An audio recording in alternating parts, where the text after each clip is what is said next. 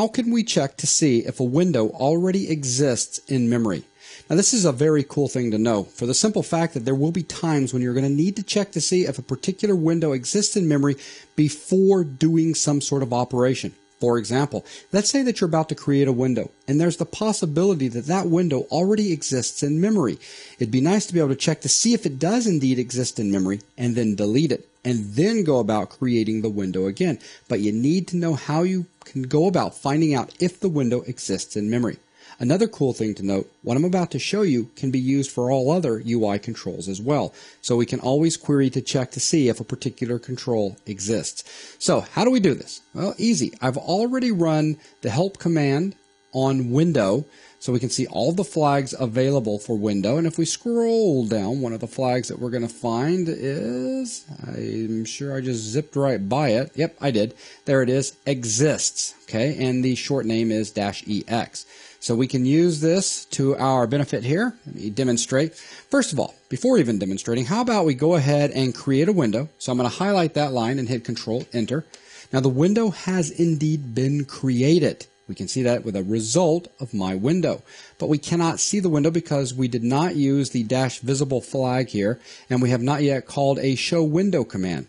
So what if I was to try to create this window again? So with this line still highlighted, I'm going to hit Control Enter again to execute that one line. And look what happens. We get an error.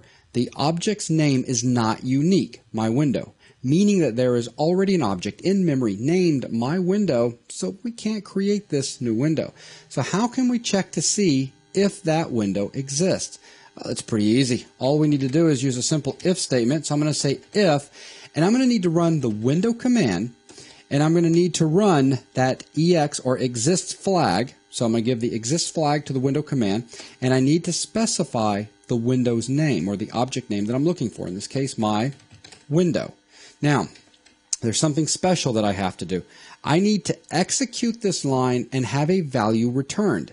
See, dash EX is basically going to cause a true or false to get returned, and the if statement can then act on that true or false. So all I'm going to do is I'm going to put accent marks around this line and that's going to cause it to be properly executed and a true or false value returned. The accent marks are on the left hand side of your keyboard right above the tab key. And I find that important to say because I've seen so many students try to use the single quote key over near your enter key and that's just not right. So basically here we're saying if this window exists, we're going to do something. Well, I'm going to show you in this video is just to prove that it does indeed exist in memory. I'm just going to do an error. So we're going to say error window already exists. Blah, blah, blah, blah, blah, blah, blah, just so you know it's me. There you go. And we'll terminate the line. Now we know the window currently exists in memory. We've already run the command once, got a result, ran the command again, got an error because the window is in memory. So let's go ahead and highlight these two lines because that's all I'm interested in executing. And let's hit Control Enter if everything works properly, we should get an error stating that the window already exists. So here we go. Control, enter. And look at that. Error. Window already exists. And you can see here, already exists. So that worked. Well, let's go ahead and show this window and then delete it. So control enter. There's the window. So yep, it did indeed exist. Now by hitting the X right here, this will indeed kill this window object out of memory. So we'll go ahead and close it. Now, if I run this line again, we're not going to get the error because that window does not exist. So control enter and we did not get the error. Now, of course, we've got everything echoed out to history right here, but we did not get the error actually echoed out, which we saw right here on this line. And remember down here, it turned red and gave us the window already exists error. So in this particular case, we did indeed verify that the window does not exist. So if I run this command again, it will create it without any complaints. Control enter. Look at that. No trouble whatsoever. And I can go ahead and show it. Control enter. There's the window. Okay. So that is how you can go about checking to see if a window or a control, eh, such as a button, etc., already exists in memory.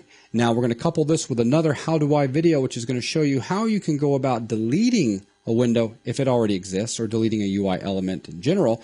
We'll put all this together and hopefully you guys will find it very useful. So with that, that is going to wrap up this How Do I video.